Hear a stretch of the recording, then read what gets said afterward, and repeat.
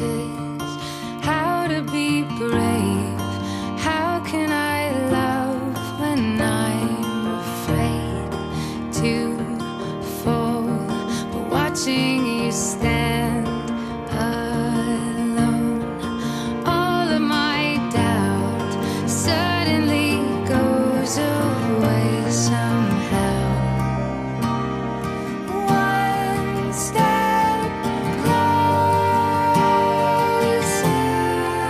Harsh now your turn एक अच्छी बात तन्वी की।